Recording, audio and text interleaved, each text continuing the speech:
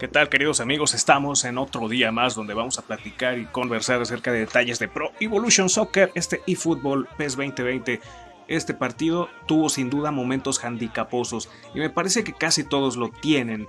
No quiero decir con esto de que el partido se regale para alguien, pero vean esto, el rebote, el portero que se tira en mal momento y bueno, el rebote que le cae automáticamente. Este es un partido de match day aquí en My Club. Ustedes se pueden dar cuenta cómo llega ese picachetazo por la banda. Ningún defensa se puede acercar ni siquiera taparlo. Le permiten por aquí disparar a placer con efecto. Aquí vean, esta jugada me encantó, me fascinó. Para mí sería para los goles de la semana. Lástima que ya no la pude grabar ni nada. Solamente aquí ya este en el replay ya final del partido pero me gustó mucho desde el amago, desde todo. De repente llega esta acción, o sea, dense cuenta cómo el rival ahora gana con esto, desde el mismísimo despeje. A mí estas jugadas me dan tantas náuseas porque te las hacen. El que te las sabe aplicar, te las hace. No importa que sepas defender, no importa que tengas bien marcado al rival, no importa que el stopper sea un jugador más rápido y más alto, no. De todas formas te la aplican. Y aquí llega esta, un rebote para Abraham, ya estamos en la segunda mitad. Prácticamente lo que yo quisiera decir es que definitivamente cada partido tiene sus puntos de inflexión, tiene esas jugadas que son clave y que a veces te las regala el sistema. Miren aquí, por querer meter fuerza desmedida, apretó demasiado quizás el cuadro o quizás este, el tache y pues regaló, regaló el autogol.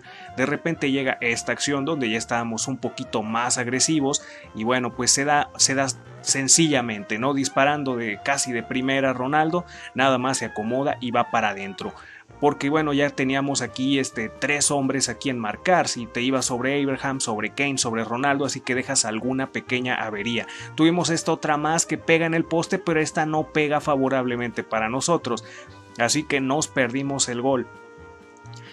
Esto va para complementar justamente el programa que se había hecho el viernes pasado, hablando de efecto Konami, de handicap y de scripting. Y la verdad que, bueno, aquí está este de Harry Kane, una barbaridad por poco y secuela, pero ya no se pudo. Tuvimos la desventaja en casi todo momento, aunque tuvimos más llegadas y más posesión, pero terminamos la primera parte casi que con una sola aproximación a gol, mientras el rival hizo muchos pases, presionó demasiado, interceptaba todo, pero es aquí donde me gustaría hablar de todos los este, conceptos que expusimos en el programa y de las cosas que yo he hablado a lo largo de este año con los videos. Para este encuerando el pez, lo único que me gustaría decir, uy, vamos a ver si puedo grabar este gol. Uy, ya no pude, ya no me dio tiempo de grabar este gol. Pues ni modo.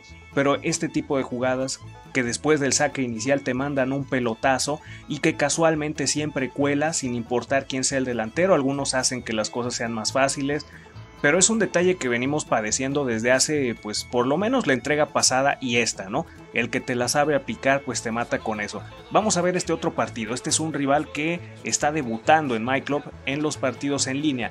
Ya tiene un equipo, pues más o menos armadito. De hecho, es muy amenazante porque tiene a Messi, tiene a Ronaldinho y también tiene a Lewandowski allá arriba. Así que debemos tener muchísimo cuidado. Además está con Aramburu, entonces nos va a complicar demasiado el partido. Va a haber muchas intercepciones, muchos errores. Tenemos que aplicarnos. Vean aquí, corta muy bien. De hecho, le tiene una marca férrea aquí hacia Griezmann, que es nuestro centro delantero para este partido. Tenemos a Cristiano por izquierda, a Messi por derecha. No se entienden estos jugadores. Cuando uno le da el pase al otro, siempre acaban en malos remates. Así que tenemos que dar este pues más pie a que mejore el espíritu entre estos dos. Miren lo que hace Messi, en vez de pararla, que era pues la instrucción que le había dado, remata de primera a las manos del portero. Aquí estamos terribles. Venga esta otra jugada de parada, no se emocionen. Este es un jugador bola blanca, si no estoy mal. Así que bueno, es normal que nos regala esta pequeña avería. Aquí está Berratti picacheteando, pero miren, aquí es donde se acaba todo. En ese punto están este pues están por ahí conteniendo muy bien todos los ataques y todo lo que hacemos.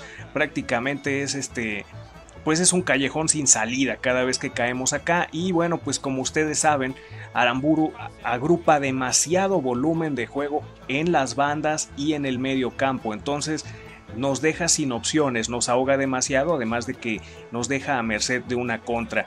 Aquí está esta otra el trazo larguísimo. ¿Qué va a hacer Griezmann? Miren cómo me corta, por eso les digo que no es un callejón sin salida porque pues hay demasiado volumen de juego entre quizás este el, desde el primer cuarto hasta los tres cuartos de nuestra cancha. Eso es lo que pasa con Aramburu y sobre todo todo este hacia las bandas, ¿no? Mucho volumen de juego hacia las bandas, entonces no nos da alternativas, especialmente cuando tiene una marca estrecha sobre nuestro centro delantero, entonces nos ahoga demasiado. vean cuántos toques está dando, cómo nos está bailando de una manera horrible. Obviamente no quiero arriesgar, no quiero presionar demasiado porque ya sé cómo se comporta este entrenador. Vean, aquí está esta de Messi. Uy, terrible, terrible. Uf, Menos mal que por ahí medio achicó De Gea, creo que sí, De Gea este es el guardameta para esta sesión. Y bueno, aquí está yo, Cancelo, bueno, aquí sacándola con Wendowsi como se pueda, pero ya estamos sufriendo demasiado. Se acaba la primera parte, no tuvimos una sola aproximación a gol, cortaba todos nuestros avances. Vamos a cambiar ahora formación, nos vamos a colar también con el 4-3-3 para pues para tener lucha de hombre con hombre, que es donde tenemos una oportunidad. Pero aquí es donde viene punto de inflexión. Vean esta. Llega el cabezazo, va Messi y dense cuenta otra vez lo que mencionábamos aquí de Aramburu.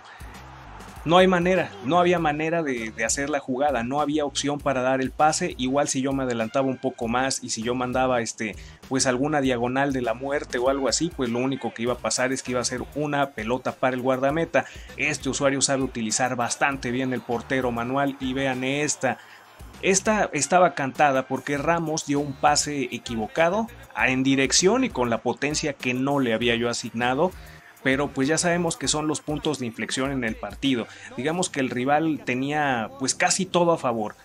Todas las pelotas divididas o todos los pases que eran como dubitativos siempre iban a favor suyo, además de que estaba metiendo muy bien el cuerpo, ahí ya me harté, me harté de ser una buena persona, si está este, abusando demasiado de cubrir la pelota y de meter el cuerpo, pues había que contrarrestarlo, también con trucos sucios para salir de esto. Vean aquí el portero Manuel como siempre, nada que hacer aquí ante Geisler.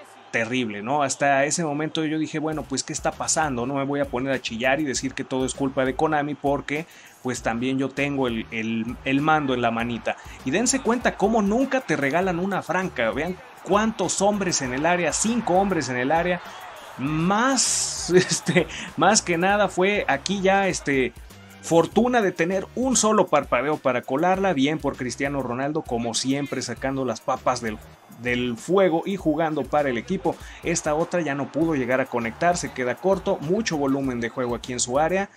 Como les digo, jugar contra Damburu es una verdadera peste, vaya. Y eh, la cantidad de pases que ha dado el rival es terrible, ahora se podrán dar cuenta en las en las posesiones, sobre todo si de repente repiten, colocan la pausa o si regresan el tiempo en alguna jugada. Vean cuántos toques, otro más, otra más, Parada ya está agotado, pero sigue con precisión. Aquí ya se equivoca porque no hay de otra. Parada pues sí es un jugador que está bajo en valoración, pero vean los rebotes, los rebotes siempre a favor suyo. Íbamos a tener otra oportunidad más, así que debíamos aprovecharla y sobre todo no, no volvernos locos, no ponernos a sprintar ahí este, pues este sin sentido, ¿no? Teníamos que este, ganar primero el duelo en medio campo y ver qué podíamos armar. Vean la presión terrible, ¿no? Este dos jugadores grandes sobre Griezmann, no queríamos sacarlo todavía del terreno de juego y aquí está esta de, Oscar. Uy, uy, uy. Uy, uy, uy, parecía una repetición de la primera jugada de gol, pero aquí está excelente Van Dyke aquí ya nos este pues ya, ya, nos habíamos condicionado a que iba a hacer eso y aquí vean lo que hace Lionel Messi no se entiende con Cristiano todavía, pero aquí con sí, bueno, ahí está sí, venga, venga, migreñas de oro, venga nomás, ahí está el gol. Y ya esto es como para ponerse el rosario en la mano y eh, aguantar los instantes finales. Bueno, metimos unos ajustes tácticos, vamos a defender con todo, está muy agresivo aquel rival. Y obviamente con Aramburu, ¿qué pasa cuando te pones ya este con el nivel 5 de ataque? Pues bueno, esto es lo que sucede. Todo el juego se agrupa desde medio campo hasta tu primer cuarto de cancha. Entonces, aquí es donde viene lo verdaderamente bueno.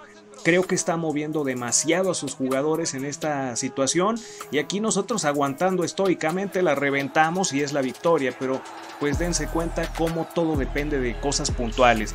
La situación estaba a pedir de boca para el rival, de hecho tenía toda la situación a favor para poder empatar al menos el partido, pero supimos leer Y quiero agregar diciendo que la única forma de poder contrarrestar todo este tipo de situaciones en primer lugar es estar relajado, el no volverse loco, el no presionar demasiados botones, el de no pulsar más comandos de los que tienen que ser, no hacer más de la cuenta, relajarte porque en algún momento la balanza puede revertirse. Teníamos mejores jugadores, era obvio que teníamos ventaja, pero el sistema funciona de esta forma para nivelar y balancear las cosas.